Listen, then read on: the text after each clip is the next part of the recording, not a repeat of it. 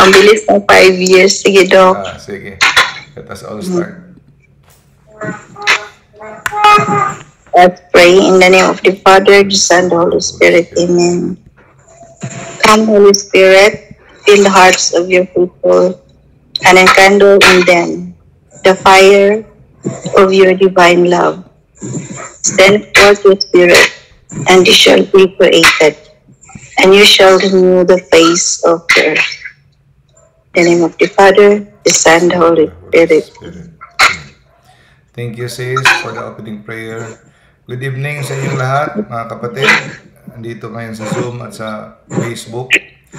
Um, Brother Rocky, Bra- Sis Joanne, Sis Emma, Sis Ayon, Sis May, Sis Brother Sam, Sis Teresita. Good evening sa inyo. At sa lahat ng mga evening. nagsusubaybay. Good evening. Ang title ng ating lecture for this evening is The Great Importance of Morning Offering. Galing ito sa book ni Father Sullivan. Ang title ng kanyang book, uh, bago ko naman itong binili, um, How to be Happy and How to be Holy. Ah, So, ito yung first part ng book niya. In prayer, hindi kailangan mga kapatid na super banal ka or kailangan mong maging ina super saint, no? Para magkaroon ka ng kasiyahan sa prayer. Uh, maalala ko yung anak ko si Anton. Sabi niya, Daddy, I'm bored. Hello? Nare clear ba ang voice ko? Ah, okay. Ang sabi ni Anton, I'm bored, daddy. Sabi ko, if you're bored, you pray. Sabi niya, but praying is more boring. Mas bored daw siya kung mag-pray, no? Anyway, lahat tayo naka-experience ng ganyan, no? Na ka- hindi mo naririnig yung kausap mo. Uh, you have to concentrate. Takes a lot of effort. And then sometimes when you pray, kung pwede pa lang, gawin mong lahat. Hanap ka ng music, hanap ka ng mga video games, kung ano lang gawin mo para lang hindi makapag-pray, no? Ah, na, napansin natin, allergic tayo sa prayer at hindi tayo nasisiyan sa prayer dahil it takes parang concentration, hard work, dry, sometimes like that, no? And then, nagtataka tayo, bakit ang mga saints, they find it, they enjoy praying. No? Nasisiyahan sila, nakakahanap sila ng kasiyahan sa praying. Pero, aka, tapos akala natin, ah, dahil nasisiyahan sila, dahil banal sila, dahil saint sila, dahil nasanay sila, ganun. Pero, hindi pala kailangan na maging santo para magkaroon ka ng kasiyahan sa prayer. Ang importante lang, malaman mo lang kung paano ang tamang paraan sa pag-pray and then you will have delight in prayer. No? Maintindihan mo lang kung bakit ka nagpe-pray at ano ang purpose ng prayer, magkakaroon ka ng delight in prayer. Kagaya ng exercise. Sino bang gusto ng exercise at first katagalan, no? Paano ka magkaroon ng delight in something you do? You just have to do it repeatedly.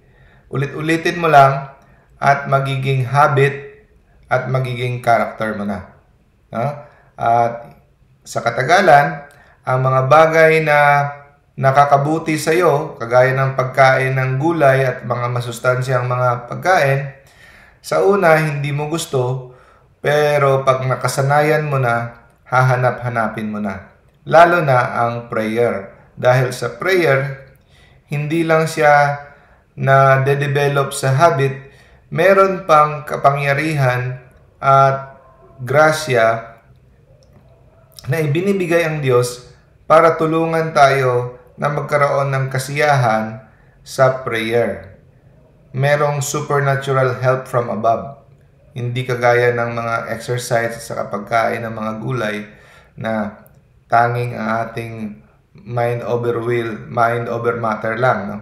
Etong prayer na to, the more we do it, the more tayo bibigyan ng kakayahan.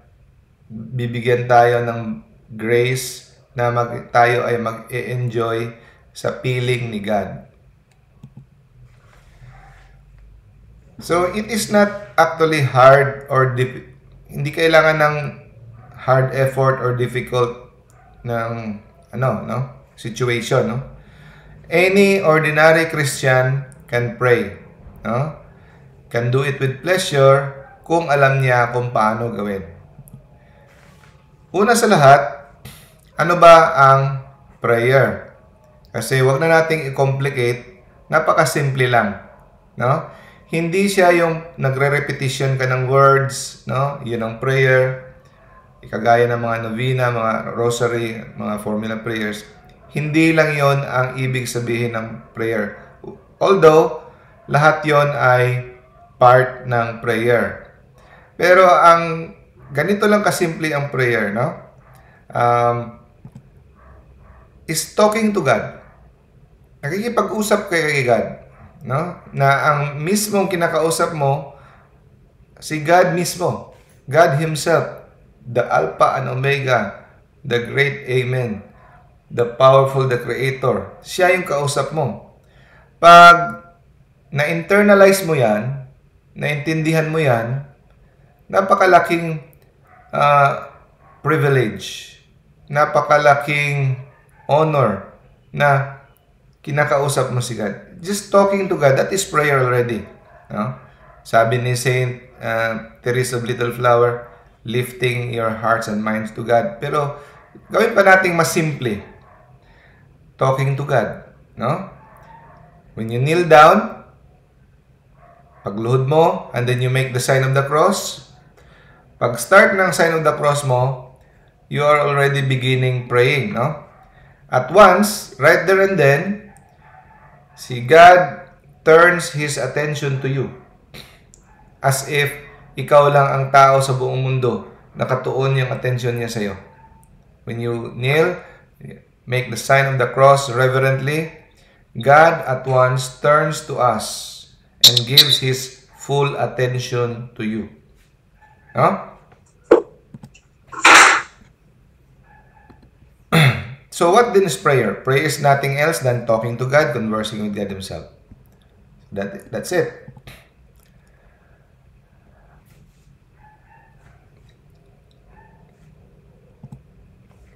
Kung alam lang ng lahat ng Kristiyano, no?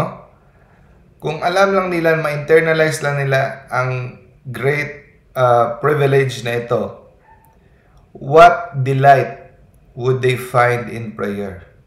Mag-e-enjoy sila sa prayer knowing that the Creator of heaven and earth are listening to Him or listening to her.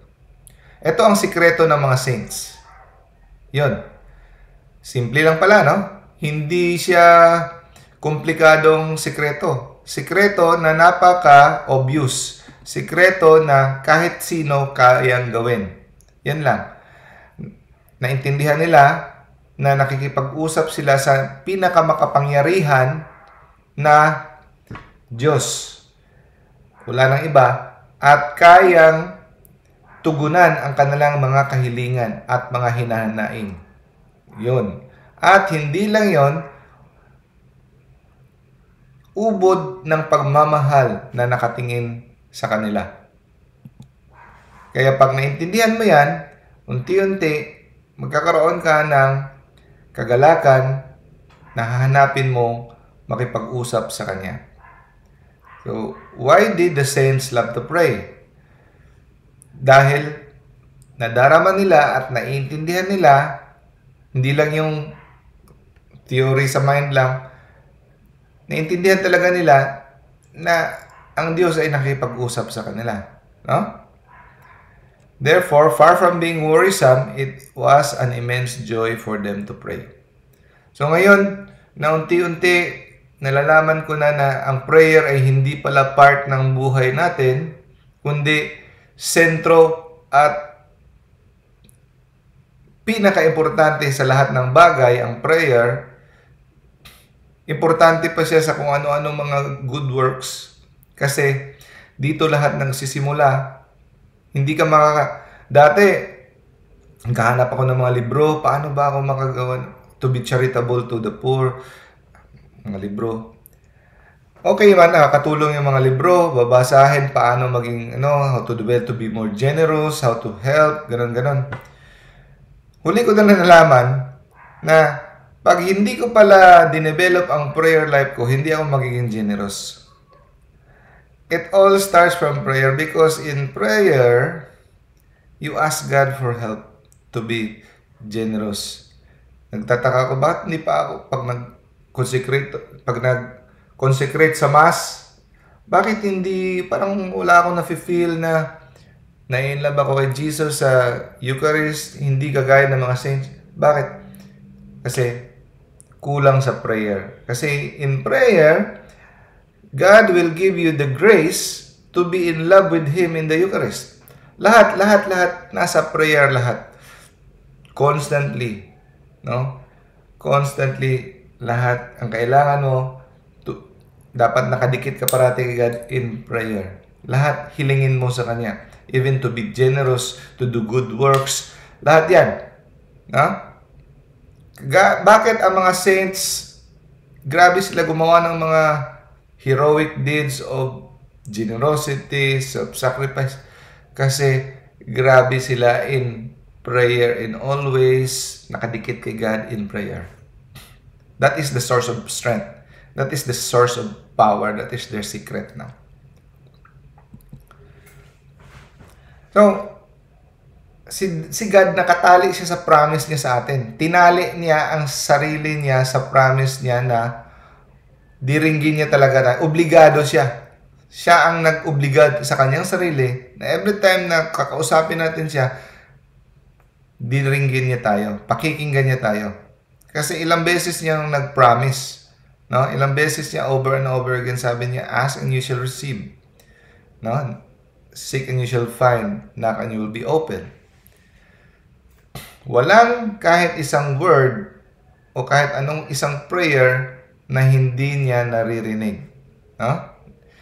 We never yet said one prayer, never yet sent one cry to God that it was not heard. It is always heard. No?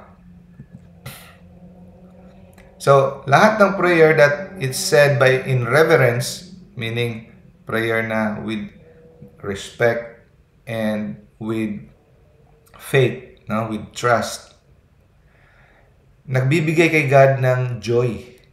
Nasisihan si Lord. Nag-enjoy siya. Every prayer na binibigay natin with reverence and trust, no? gives God immense joy and pleasure. So, dapat mag-enjoy din tayo na alam natin na nabibigyan natin si Lord ng kasiyahan. Di ba? So, kung alam natin na ito ay nabibigay ng kasiyahan sa ating Ama, nagagalak din tayo. And fourthly, no, our prayers obtain for us many graces and blessings. Every time we pray, nakakatanggap tayo ng blessings, nakakatanggap tayo ng graces, no? Na hindi sana natin matatanggap kung hindi natin hinihiling. No? So, dati, magdang ask ako kay Lord, nililimit ko. Ito lang isa, baka sabihin ni Lord, sobra na. No, mali pala ako unlimited ang i-ask mo kay Lord dahil si Lord unlimited ang power niya, no? Huwag mo siyang ismulin. Kaya niya ilang libo ang hihilingin mo. Ilang libo sa isang araw. More than that.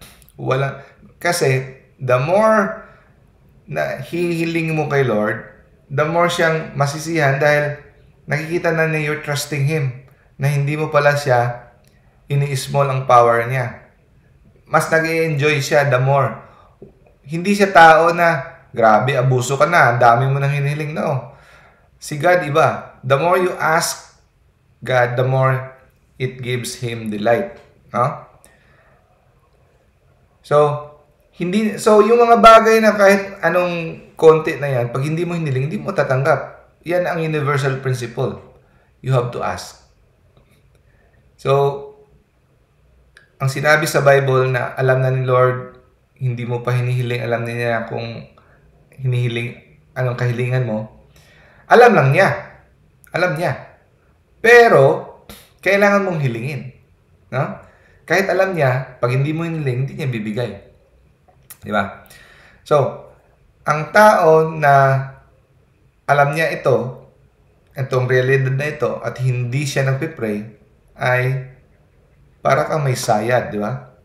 He is a madman if he omits his prayer, knowing that you cannot receive what you do not ask.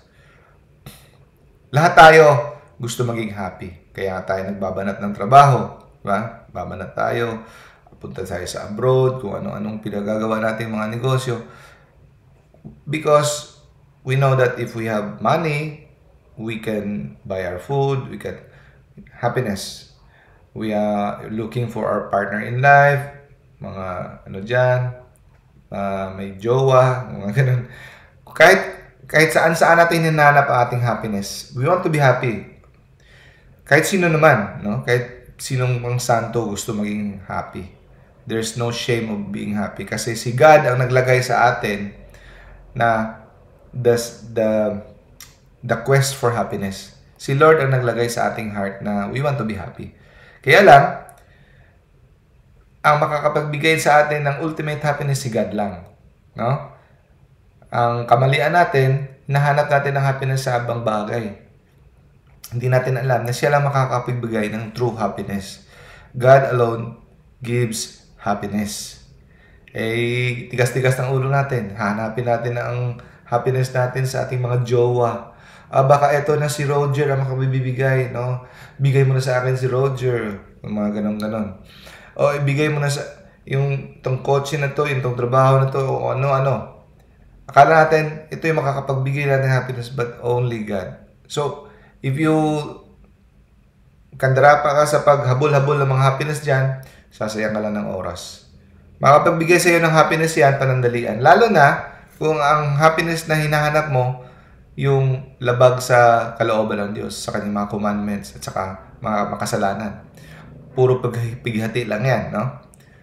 Now, happiness is God's greatest gift. So, minsan, napansin niyo yun mga kapatid, yung happy ka, hala, happy ako. Tapos kakabahan ka, baka bukas ang kapalit nito, mapighati na naman. No? Di ba? Nakatakot ka kasi, wala, wala akong problema ngayon. Bakit kaya? Nakakatakot naman, baka bukas mawawala na to.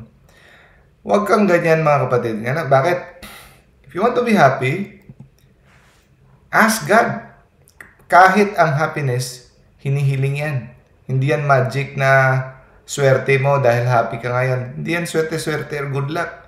Ina hinihiling yan kay Lord kahit na ganun. No? Recently ko lang nalaman, no?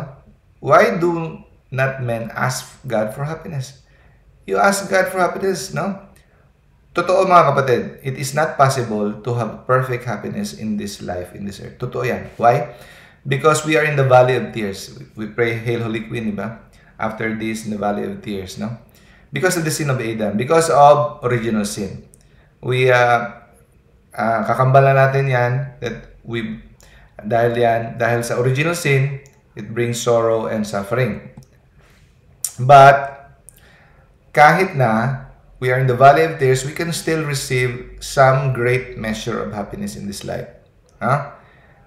Peace of mind, joy in our hearts, even in the midst of suffering, we can still have measure of happiness. And God alone can give that.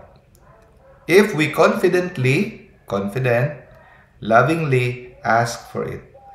So, okay? New learning mga kapatid, ask God to be happy. Ask God for the happiness. So, wala na ibang paraan na makakamit natin to by praying for it. So, ang mga taong hindi nagpe-pray for happiness from God, no, is ignorant and foolish. Okay. On the other hand, we cannot escape suffering. No one can avoid suffering, sickness, pain, disappointments. No? Ang kagandahan lang, if you are asking God for happiness, every time those happiness na kanyang inaalaw, no? Kasi walang pain, walang suffering na darating sa buhay natin na hindi niya inalaw, hina, uh, pinayagan. Kasi it is good for our salvation. He is always there to help us. Tinutulungan niya tayo. So, pag nag-permit siya ng suffering sa atin, He always help us na pasanin ito. Bibigyan niya tayo ng grace, strength, consolation na to bear the cross. But, kahit na na pag may temptation, may cross, tutulungan niya tayo, tutulungan niya tayo pag hiniling natin. Pag hindi natin hiniling, hindi rin niya ibibigay. Always ask. Ang mga suffering na pinahihintulutan niya na dumating sa buhay natin is a reminder for us na pumunta sa Kanya to seek help. Kasi minsan, nakakalimutan nating humiling. Kaya, minsan, pinapadala niya tayo o para humiling tayo. Kasi every time na lumapit sa siya ta, tayo sa kanya, nasisihan siya. No? Kagaya ng isang bata na pag nadapa, nasugatan, tumatakbo sa nanay. In times of danger, no? nagpapadefend sa parents. One may ask, eh bakit, brother, maraming tao na hindi nagpe-pray, hindi malapit sa Diyos, sobrang ganid, sobrang makasalanan, pero happy naman sila. They are prosperous, no? They, mga picture nila sa Facebook, ang gaganda-ganda, no? happy parati, no? Parating nasa mga resorts, happy-happy, no? At may mga blessings sila, hindi sila napipray. Bakit sila happy? Okay. Etong sagot. Si God, because of His infinite mercy, no? Sabi niya sa Bible, He let His sun to shine and His rain to fall even to the just and unjust. Dahil of His goodness and infinite mercy, pinapayagan niya ang mga certain amount of good to all people, good man or bad. Yan. Pero, yung pleasure and joy ng mga tao na malayo sa Diyos, hindi nagpe-pray, hindi nagmamahal sa Diyos, ang kanilang nakikita mo, pinapakita nila sa Facebook, pinapakita nila sa mga picture sa, sa harap, masaya sila, pero it is full of bitterness and sadness. At ano pa yan? Nakakamit nila yon dahil pa nanlamal, nanlalamang pa at tumat, tumatapak ng tao. Kahit hindi nila aminin, hindi sila nila sila tumat, tinatapakan, pero nakukuha nila yung mga happiness nila through sinful ways. Walang peace of mind.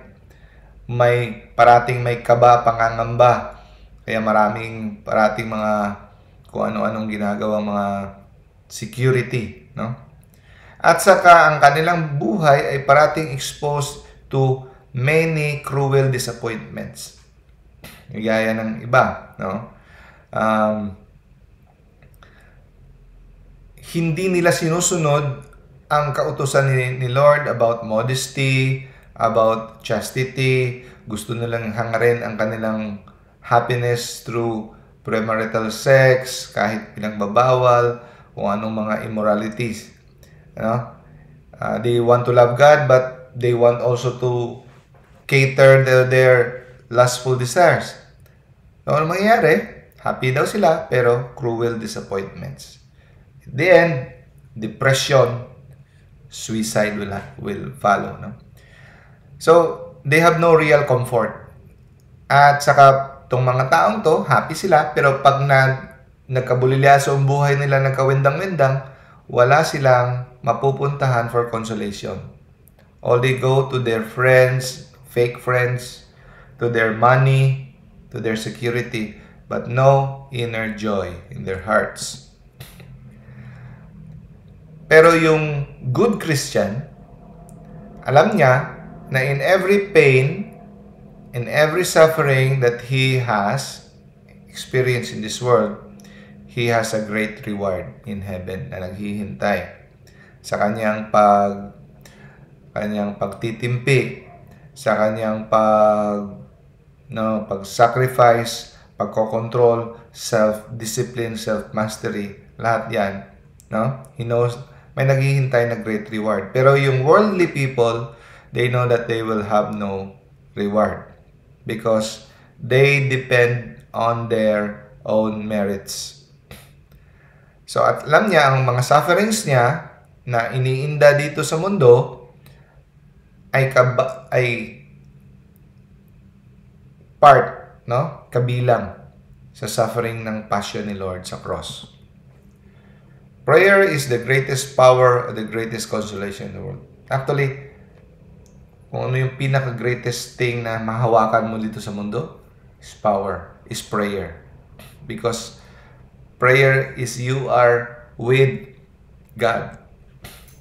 Sabi ni Solomon, si Solomon, di ba, sa Bible, siya yung pinaka-richest, wisest, lahat ng pleasure niya sa kanya. Wala na yatang limit sa kanyang mga, sa kanyang wealth, no? Pero sabi niya, despite of all those things, sabi niya, in all the pleasures he found, there is no real happiness. It was only in God that he found happiness and joy. No? Taken from the word of the most successful, wisest, most intelligent, lahat ng pleasure, 700 concubines, 2,000 wives, 700 concubines, imagine, no? Talo pa niya lahat ng tick chick boy diyan, no? Pero lahat hindi siya naka-find ng real happiness. It is only in God that he found real happiness and joy. At saka yung mga taong worldly, whatever happiness that they claim they have is lost in death. Kahit sabihin nilang, oh, may true happiness ako, pero mawawala din yan sa at death. And these people who are worldly, who are not close to God, takot mamatay. Siyadong gusto talagang always mabuhay. Pero yung mga saints, Saint Teresa of Avila, Saint Paul, holy man, they are always excited to die. Si Saint Teresa of Avila, every time makarinig siya ng strike ng clock, natutuwa siya dahil palapit na ng palapit siya sa kamatayan. So, those God's friends, ng mga friend ni God, they have great peace, no? Because and they are sure that may naghihintay na mas greater happiness sa after this life on earth. And death for them is not grave, is not a tomb, but a gate for infinite joy. Lagusan lang siya para papunta sa walang katapusang kaligayahan. At saka yung prayer natin mga kapatid will deliver us from evils and dangers. Ito rin, gusto mo ng good health? Ihiling mo parati araw-araw ng good health. Kasi, although, oh, sabihin mo, araw-araw naman ako nag-pray ng good health, eh bakit may sakit ako? How much more kung hindi ka nag-pray? Kasi ganito yan. Marami palang mga mga sakit na maiiwasan mo sana kung araw-araw ka nag-aas ng good health kay Lord. No?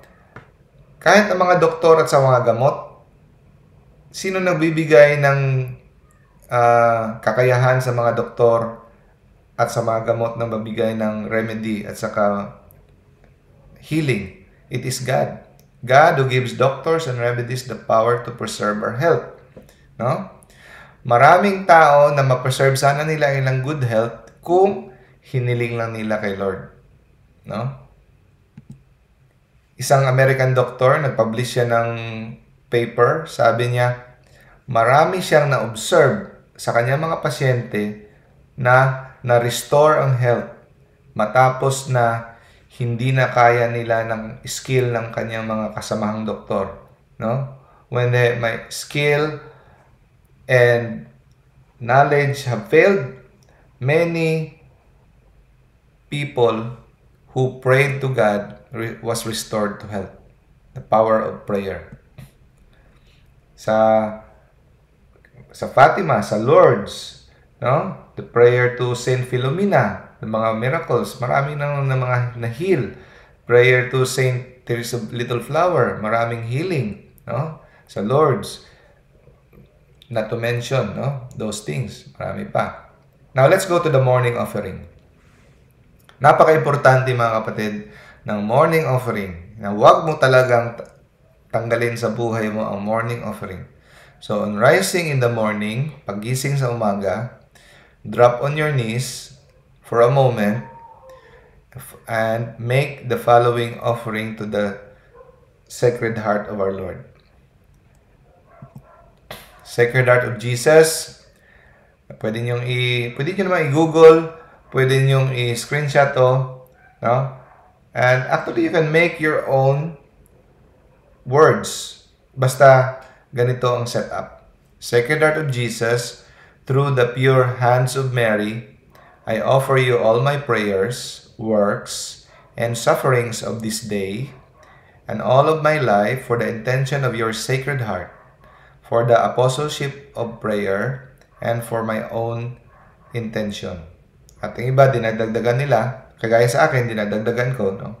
Every breath that I take this day, every beat of my heart, every step that I make, every word I say, every moment of my body and mind, I wish to be an act of love for you, such as your Blessed Mother herself performed. So, lahat ng um, uh, paghinga ko, ang tibok ng puso ko, lahat, sana ito ay magiging act of love for you ino-offer ko lahat ng prayer ko this day, lahat ng kasayahan ko, lahat ng sufferings ko, lahat ng trabaho ko, i-offer ko para sa intention ng iyong second heart. Merong version din ito na parang mas updated. Ito yung ginagamit ko. At dinadagdagan ko ito. Dinadagdagan ko ito. Um, oh Jesus, through sa pamamagitan, ino-offer mo kay Jesus, pero sa pamamagitan sa, ng kamay ni Mama Mary, no? Through the Immaculate Heart of Mary, I offer you my prayers, works, joys, sufferings of this day, buong, itong buong araw. Para ipagkaisa ko sa holy sacrifice of the Mass na nangyayari sa buong mundo, I offer them for all the intention of your most sacred heart, for the inten- for the salvation of souls, ako dinadagdagan ko ng conversion of sinners, souls in purgatory, no? reparation for sins, and the reunion of all Christians. I offer them for the intention of our bishops and of all apostles of prayer, and in particular for those recommended by our Holy Father for this month. Si ang Santo Papa may in, prayer intention siya every month. So, i-unite mo yan for the recommended by our Holy Father this month. So, napaka-short lang na prayer na ito, na morning offering, pero grabe ang effect nito mga kapatid. When you say this, dapat with full deliberation and naintindihan mo. Hindi lang yung sa bibig lang lumalabas lang sa isip mo. No? Because, pag, when you offer this, lahat ng ginawa mo sa buong araw, mata-transform into an act of love. So, walang masasayang na mga ginagawa mo sa buong araw. Provided you, you are in the state of grace. Okay? Provided you, if you are in the state of grace. Lahat ng ginawa mo kahit nagsusulat ka lang, kahit nagtututbrush ka lang, it will be transformed into an act of love. No? At madadagdagan ang iyong merit. So, libo-libo na acts of love we can do if you do. Sabi ni St. John Vianney, pag ang morning mo ay inoffer mo na kay God, mahihirapan na ang demonyo. But, pag sa morning mo, hindi mo na offer, at nakuha niya ang unang araw mo, napakadali na niya kunin ang buong araw mo, sabi ni St. Vianney. Pag, mo, pag, pag gising mo, ang una mong dinampot, TikTok, nakuha na ng demonyo ang araw mo. O kung ano pa dyan. So, when you wake up, get down on your knees and make an morning offering. No? So, anong, what glory shall we give to God, no? Kung if we do this. At ano kadaming libo-libo ng grasya ang nasasayang pag hindi natin nakagawa ng morning pray, morning offering. Sabi ni St. Paul, di ba sa Bible, whether you eat or drink, kahit ano, whether you eat or you drink, do it in the name of Jesus. Whatever else you do. Kahit anong napakasimpleng, do it in the name of love for Jesus. Sabi ni St. Paul. No? Gaya ng example, sino ba nabigay sa atin ng mata? Those eyes that we can see the beauty of the mountains, of the around us. So, do we ever thank God for our eyes? So, pwede nating masabi na, I wish, oh my God, I wish that every glance of my eyes, sa kada tingin ko sa mga kahit ano, will be an act of love for you. Pwede mong i-offer yan. Kahit ano makita ko, will be an act. So, ibig sabihin, double purpose yan. Lahat ng titingnan mo, kabutihan, hindi yung mga kalaswaan at mga uh, mga anong mga kahalayan diyan at mga kasamaan at mga kagalitan. Sino nagbigay sa atin ng heart na nagbibit walang tigil hanggang 20, 40, 60 years, 70 years. Kung tumigil lang yan ng isang sandali, patay na tayo. So, pwede rin natin gamitin na, Oh dear God, no? I wish that my every bit of my heart can be an act of love for Thee. And do we ever thank God for our mind and our free will? Na meron tayong free will kung freedom? Ating intelligence? So gamitin din natin, Oh my good God, I wish that every thought that passes through my mind will be an act of love for Thee. Naglalakad ka lang sa daan. Ganun. So, pwede mo itong gawin all throughout the day. Itong pagsusulat mo, lahat, no? in union with the divine will. So in this way, every day would be full of numberless acts of love and merit. Walang limit, no? Better still, no? For instance, when you are walking, sabihin mo, Oh my God, I wish that every step will be an act of love for you. And, Oh my God, every word that I say will be, I wish that will be an act of love for you. Hindi kailangan exact words. That it's the thought, no? Pag, nagsusulat ka, pwede kang mag-pause sandali at saka sabihin mo, My God, every word I write, I wish to be an act of love for you. Ang ibang mga babae dati nagnanahnahe, no? They will say, Oh my Jesus, I wish that every stitch that I give will be an act of love for you. So, kada act of love na ginagawa mo, kahit anong simple yan, no? you will receive a great reward in heaven. Ang kagandahan dito mga kapatid, ginawa mo yan for a moment. Napaka sandali lang, no? ilang seconds lang ginawa mo. For a moment lang ginawa mo yan. Pero, it will last for all eternity. Grabe ang reward. You just make it for a moment, Lord, make, may this be an act of love for you. One moment lang yan. Pero ang kanyang effect will last for eternity. So, uh, one act of love, hi- mahihigitan pa niya ang ilang libong mga blasphemy. Kaya, mas malaki ang kanyang effect ng one act of love compared sa mga blasphemies dyan. So, pag may blasphemies nangyayari, babawiin mo, sabihin mo, Oh my God, no? I, I love thee, I believe thee, and I uh, offer reparation for those who do not believe, who do not love you, who do not trust in you. So you make an act of reparation, babawiin mo yung mga taong hindi naniniwala, hindi nag, nagdadasal. No? And every little cup of water we give to a poor man, no? God will give an eternal reward. So, provided you, that you are in the state of sanctifying grace. What if you give a cup of water to a poor man if you're in a state of mortal sin? Meron bang reward sa heaven? Wala. Pero, hindi masasayang pa rin yun, mga kapatid. No? God will give you a grace, a grace, that act of love will give you a grace for conversion para mag ko-convert ka. If you respond to that grace. Hindi yan infallible. Kailangan pa rin ang ating response. So, lahat ng act of love may reward. Pero ang reward, kung if you are in the state of grace, glory, merit in heaven.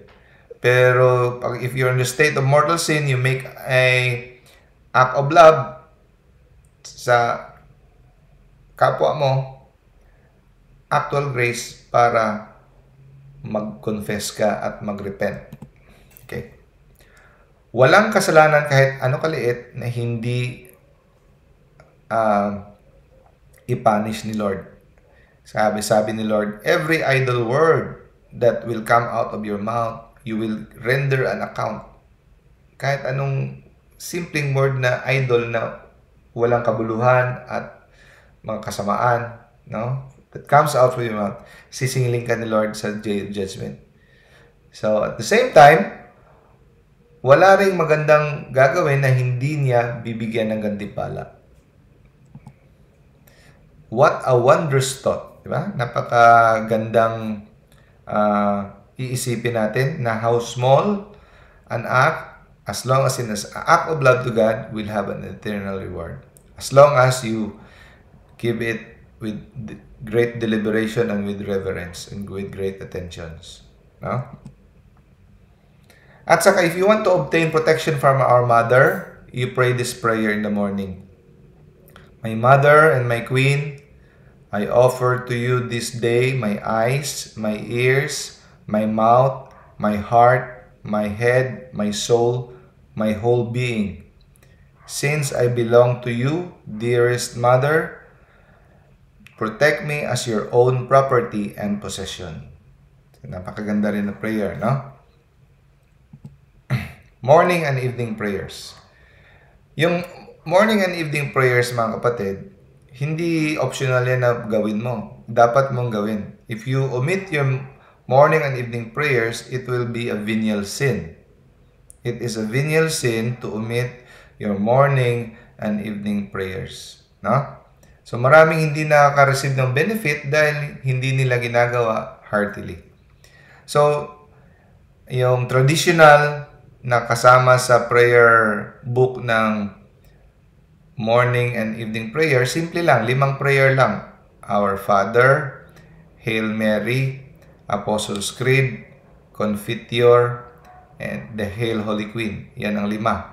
You pray that in the morning, you pray that in the evening. Sa evening, dadagdagan mo ng act of contrition dahil sa kung ano mga pinanggagawa mo na kasalanan sa buong araw. Yan ang evening ano, ang simple lang, di ba?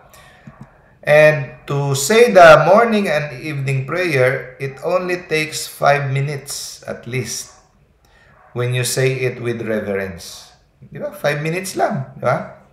Pero, of course, this is for mga beginners, no? As you grow, meron ka nang idadagdag ng mga meditation. According to St. Alphonsus Ligori, if you want to, to reach the state of perfection, 30 minutes is not enough for a meditation. Pero dito lang tayo sa basic muna tayo. Sabi dito, It only takes 5 minutes when you say it reverently. No? At ano ba yung 5 minutes? Too much ba yun ibigay natin kay God? Di? Napakadali lang ng 5 minutes. In the first place, bakit tayo andito sa mundo? Bakit tayo ginawa ni God? Catechism Basic 101, to know God, to love God, and to serve God. No? For the few years na nandito tayo sa mundo, ang purpose natin is to know, to love, and to serve Him. And then to have infinite happiness in heaven. Now, meron tayong mga trabaho, meron tayong occupation, meron tayong mga duty, pero ang first duty natin is to pray to God. Huwag natin kalimutan. That is our first duty. Paano natin masabi na we love God if we do not pray? At saka sabihin ko rin, paano natin gustong maging mapunta sa langit kung hindi tayo gusto makapiling si God dito sa mundo? Remember, heaven is makapiling natin si God. ang prayer, nagpa-practice tayo na makapiling si God dito pa lang. Huwag mong sabihin na gusto mo makapiling si God sa heaven. Pero dito ayaw mo siya makapiling. Parang, ano, hello, surprise, oh, magsama na tayo sa heaven. No. Dapat dito sanay ka na. Sanay ka na, nakasama mo siya, para makasama mo siya, you have to pray. Always, sabi ng Bible. No? Kasi hindi pwedeng ginagamit mo lang siya, di ba? Ayaw kong mapunta punta sa impyerno, gusto kong mapunta sa langit, hindi ka nagpe-pray, parang ginagamit mo lang siya. Gusto mo lang magkaroon ng aircon sa langit eh, di ba? Kasi ayaw mo nang, di ka sanay sa aircon eh. O, eh, gusto mo malangit. But, kaya ang mass is heaven on earth eh. Di ba? Nangyayari na sa, mundo, sa lupa kung ano nangyayari sa langit. In prayer, you're already practicing for heaven. Merong 24 hours a day. Now, pagkakaitan mo pa si Lord, si Lord kahit 5 minutes lang, kahit ganyan lang, ibigay mo na, no? Pero, dapat hindi natin minamadali ang morning prayer at saka evening prayer. At we must not be given to rushing over our prayers. Mag-pray tayo, hindi tayo yung mga, para mga radyo na nagsasalita lang na walang iniisip. We have to pray intelligently. Mahirap ba mag-pray well? Hindi. Hindi. Isipin mo lang na nakikipag-usap ka sa iyong best friend. He is your best friend actually. Wala nang kung sinong best friend mo nagmamahal sa iyo, walang tatalo kay God sa pagmamahal sa iyo. No? So when we pray to Him, we are speaking to Him and He is listening to us. Nakikinig siya sa atin at nakikipag-usap tayo sa Kanya. Now, the five prayers na sinabi, Our Father, Hail Mary, Confiteor, Hail Holy Queen, no? And the Acts of Apostles' Creed. Actually, pwede mong dagdagan yan, no? Pwede mong dagdagan yan kung, um, ano, sa akin, may maggagawa ko ng lecture na isi-share ko kung na, how do I pray in the morning, no? Is, uh, para baka pwede nyo gawing pattern or pwede nyo ring i-modify o mas Or baka ang prayer niyo mas mabuti pa sa akin. So, isi-share ko lang one time. Hindi ngayon. So, napaka-simple at napaka-beautiful na mga prayers na lahat, kahit sino, pwedeng maunawaan yon, no? So, it is well to remember that before we pray, we make the sign of the cross. At hindi dapat ang sign of the cross natin minamadali we should do it reverently. So even the most simple person can say them, Our Father and Hail Mary.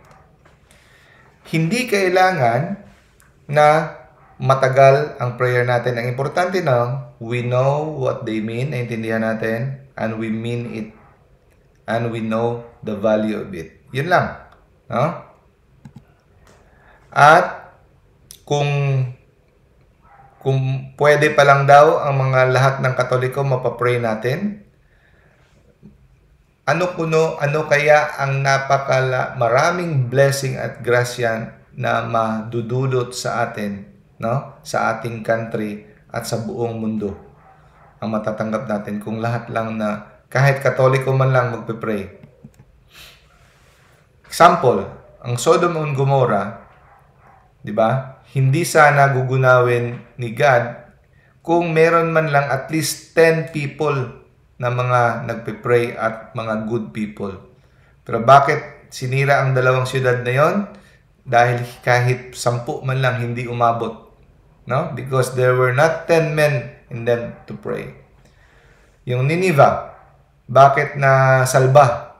Dahil ang king ng Nineveh prayed and then he inutusan niya yung mga tao mag-pray. Si Judith, na-save niya ang Betulia from destruction. So makita mo kung kahit mga ilang tao lang, grabe ang epekto, how much more kung tayong lahat mag-pray.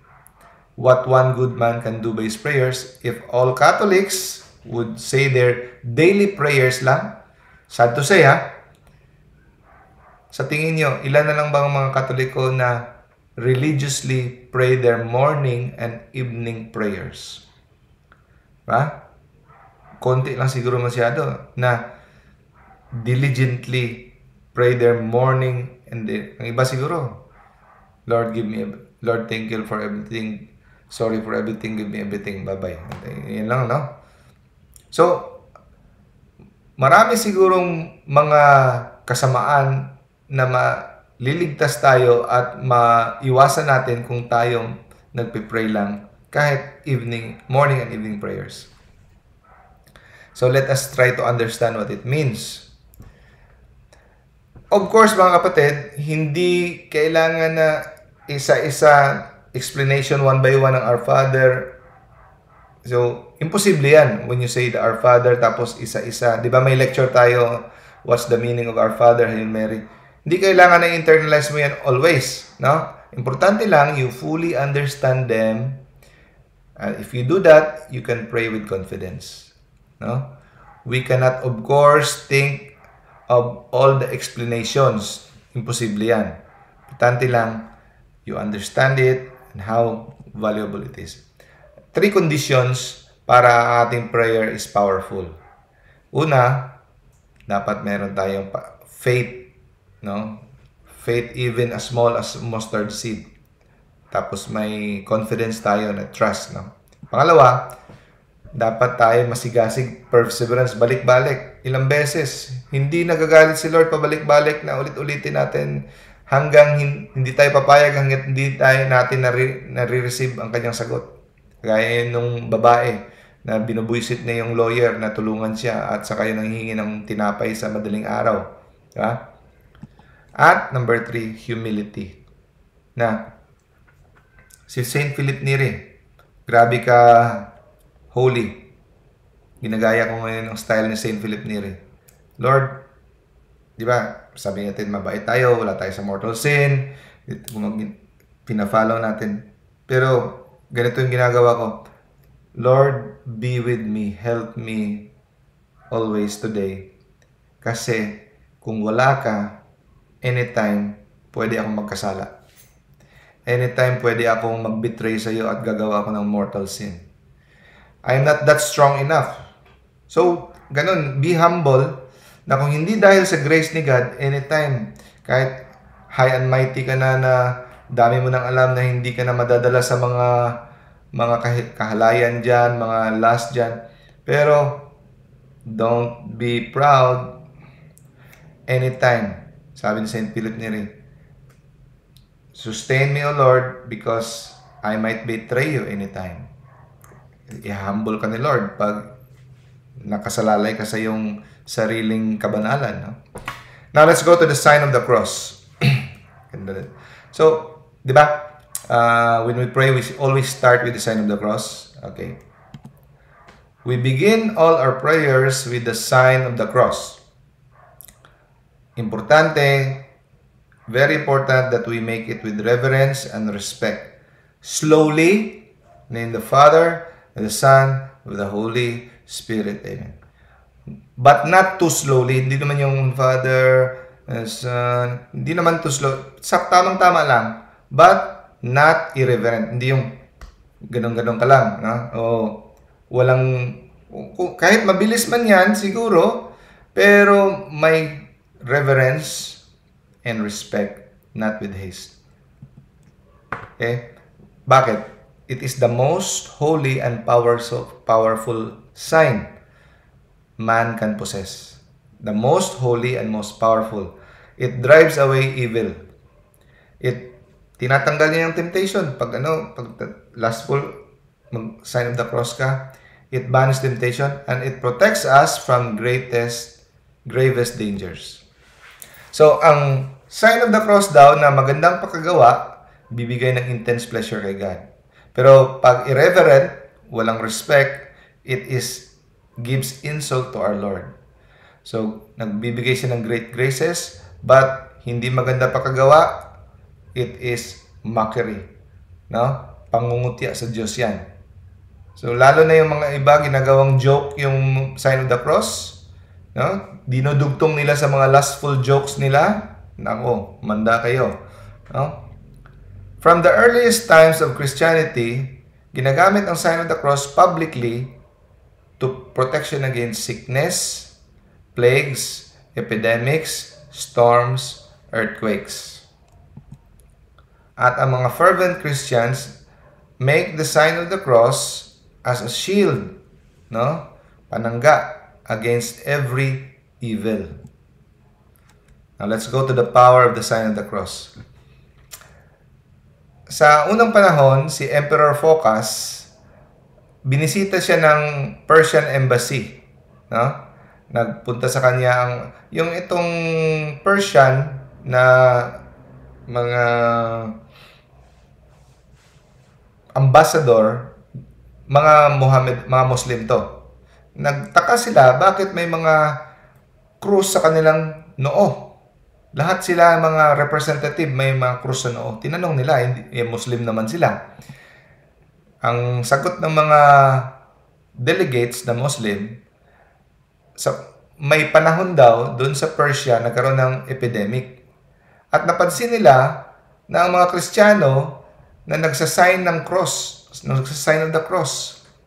At yung mga nag-sign of the cross ay na na-deliver from the plague, no? Kaya ginaya nila na nag na-convince sila sa power ng cross, they did themselves likewise. Nag-sign of the cross din sila. And then also, they were delivered. Kahit Muslim sila. And since then, they grow respect to the power of the sign of the cross. No? at na safeguard sila from sickness and pestilence. Now, ma- maraming devout Catholics, no, when troubled by pain and sickness, they mark ang part ng kanilang katawan na may sakit, they make it a habit to say, by the holy sign of the cross, deliver us, O Lord, from all evils and sickness. Pwede natin gayahin to kung anong mga parte ng katawan, mga anak ko, kinokross ko. Sakit, no? Gamit ang yung exercised oil. Kahit walang oil, pwede, no? So, this practice should be used by all faithfuls. the Jew and the sign of the cross. May, dati may isang Jew na yung Jew hindi naniniwala kay Jesus yan, di ba? Nagta-travel siya papunta sa Rome, kaya lang masama ang panahon na pilitan siyang tumigil at matulog doon sa isang pagan temple, no? Ruins. Nung tulog na siya, nagising siya dahil may mga horrible noises at saka mga nakakalansang amoy. Pagising niya, kita siya ng mga devils at it struck him with terror. Naalala niya yung mga kaibigan niyang kristyano na nagkukrus, ginaya niya at pag make niya ng sign of the cross, kumaripas ng takbo ang mga devils. Pagdating niya na Rome, kinuwento niya at nalaman ng Santo Papa, ininvestigate ang kanyang kwento at kanilang discovery na pawang katotohanan ang kanyang testimony. Saint Hilarion, sa panahon na namatay si Emperor Julian, may nangyaring napakalakas na earthquake no? Doon sa may dagat. Kaya parang magkakaroon ng tsunami. Tumaas masyado ang tsunami parang tidal wave. Ang ginawa ni Saint Hilarion in-approach niya ang seashore he made the sign of the cross immediately no ang level ng tubig bumalik at bumaba at naging kalma ang panahon Saint Benedict. Binigyan siya ng cup na may wine na, na lason kasi lalasunin siya ng mga kasamahan niyang monk. Immediately when he made the sign of the cross sa cup, it shattered in pieces. No? Saint Louis Bertrand.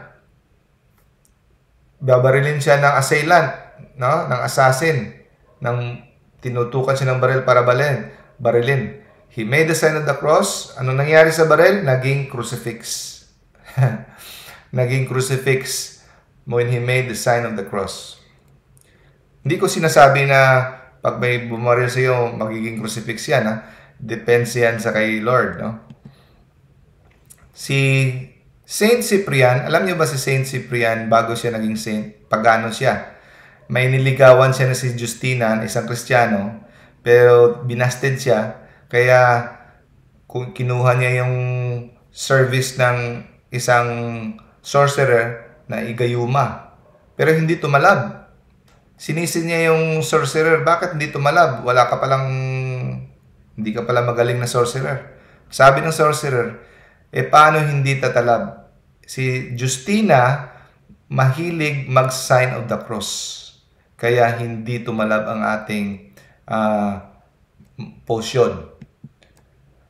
Na doon na realize ni Cyprian, sabi niya, ang master mo palang uh, Diablo is weak and this Christ is strong.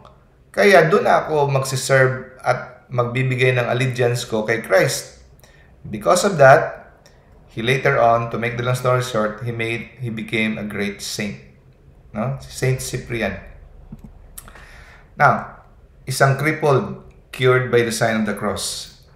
Isang bishop na si Saint Bonnet, hiniling ng crippled na pwede mong i ano sa akin yung kamay mo, ilapat yung kamay mo. I'm sure I will be healed.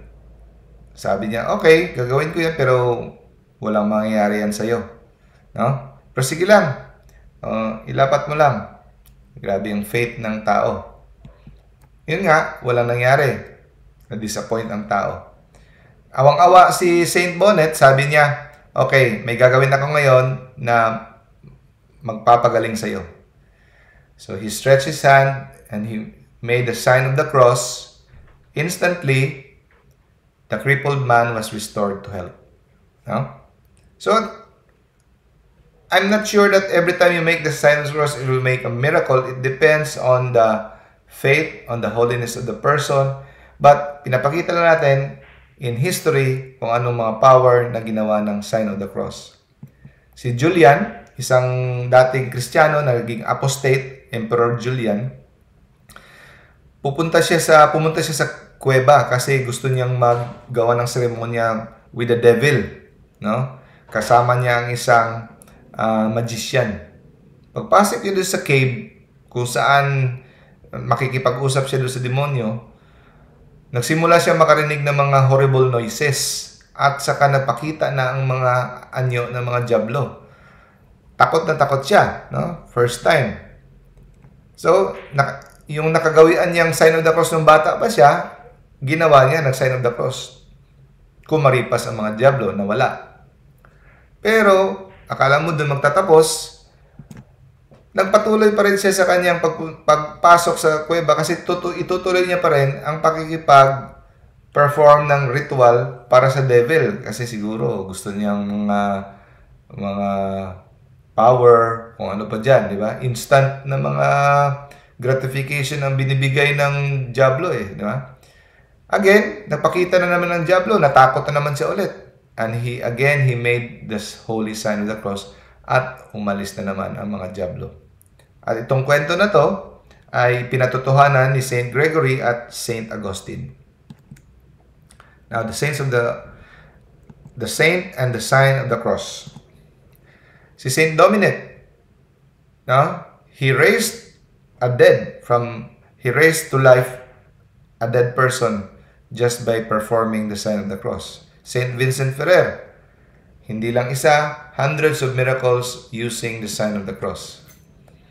Sabi ni Tertullian, ang mga early Christians sa first century, no? Pag lumabas ng bahay, nagma-make, nagsa-sign of the cross. Pag umuwi ng bahay, nagsa-sign of the cross, no? And then, when they wake up and going to sleep, they make the sign of the cross with great devotion. And sa lahat ng danger no, at temptation, they make the sign of the cross. Pag may temptation, nagme-make ng sign of the cross. No? Si St. Patrick, ilang beses mag-sign of the cross isang araw? 400 times. So, we are encouraged, all good Christians, to make the sign of the cross as many as possible if you if you can no Hindi masama ang mag-sign of the cross parate. Kahit sabihin ka pang, ano, no? Uh, baliw. So by this sign, we give immense glory to God. We offer to Him the merits of Jesus. Never do it irreverently. No, never do it hastily. No? Yung iba, uh, nahiya, kakain sa restaurant. Tingin pa dito sa kaliwa, sa kanan, tapos kasi nahihiya, no? No, be proud. Be proud. Sabi ni Jesus, anyone who is ashamed of me before men, I will be ashamed of him in my Father in heaven. So, paano tayo mag-make the sign of the cross? First, so again, ulitin ko mga kapatid, hindi kailangan na paggawa mo itong limang reason na ito ay iisipin mo before ka mag-sign Hindi. Importante lang na ma-internalize mo muna to. Pag na-internalize mo na, naintindihan mo na, isipin mo lang siya when you make the sign of the cross. Hindi kailangan uh, you have to explain everything in your mind na hindi kailangan. No? So, first, ang reason na nagsa-sign of the cross ka, because you have the intention na i-renew ang passion ni Jesus. Meaning, hindi mo iniulit, binubuhay mo. Binubuhay mo. Inaalala mo at ginugunita ang passion ni Jesus. Ino-offer mo sa Eternal Father. In union with the Holy Mass throughout the world. So, ang Mass is the renewal. No? Hindi natin inuulit, nire-renew, binubuhay, sinasabuhay ang Calvary. So, and then offer it in, in union with the whole Mass in the world.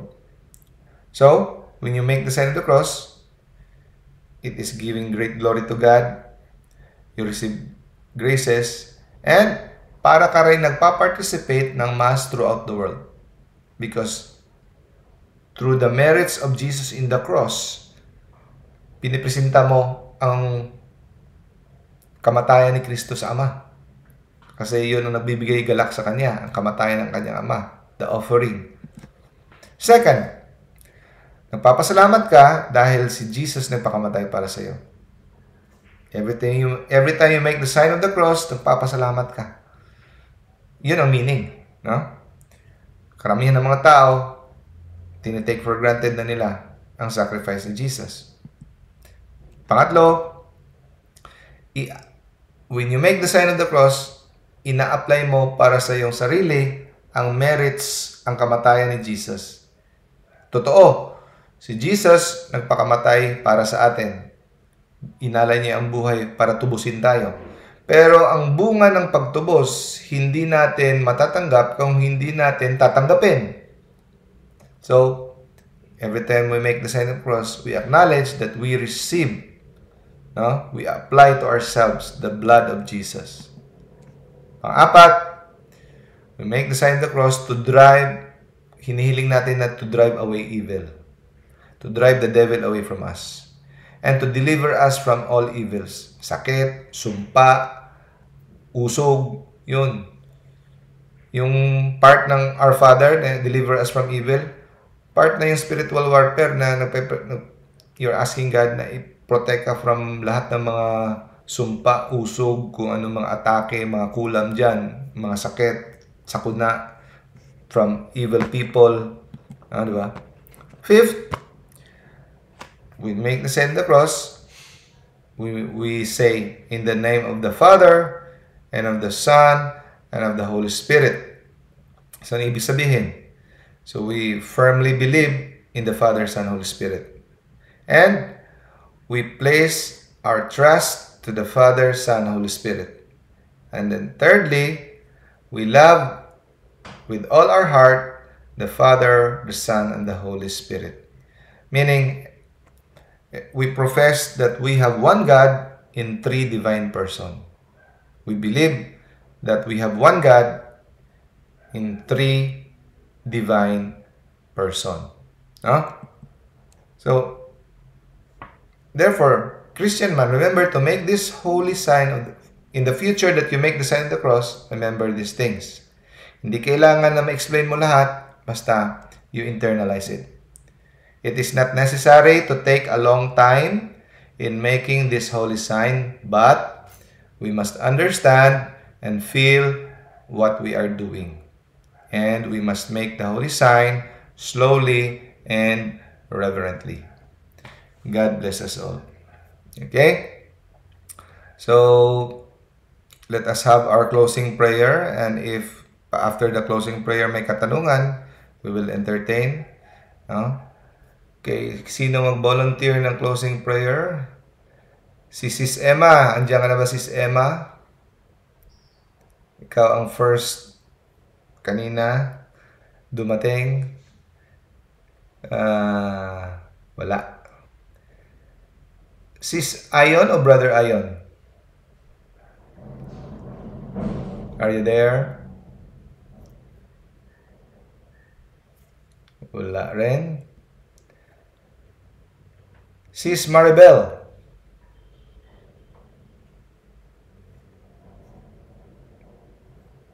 Naririnig ba kaya ang microphone ko? Nawala ang sound? Doktor, ganito pa po ako si Emma. Aw, yun. Si Emma. Ah, sis. Oh, yes. Closing prayer tayo, sis. Sis Emma. Ah, okay, sige Dok. In the name of the Father, and of the Son, and of the Holy Spirit. Amen. Lord, maraming salamat po sa mga natutunan namin today from Dr. Ditching. Sana po ito ay magbibigay ng aral sa amin at sa lahat ng mga kaibigan namin. Our Father, who art in heaven, hallowed be thy name. Thy kingdom come, thy will be done, on earth as it is in heaven. Give us, Give us today our daily bread, and forgive us our trespasses, as we forgive those who trespass against us. Lead us not into temptation, but deliver us from evil. Amen. In the name of the Father, and of the Son, and of the Holy Spirit. Amen. Thank you, sis. Uh, Good evening prayer. Sa inyong lahat, good evening sa inyo. Sino pa bang hindi ko nag-greet? Sis Teresita, Sis Maribel, yun, Sis Josie, Sis Daisy, Sis Caroline, Badrak. Kung wala nang katanungan, pwede na tayo mag-exit. Thank you for attending. God bless you.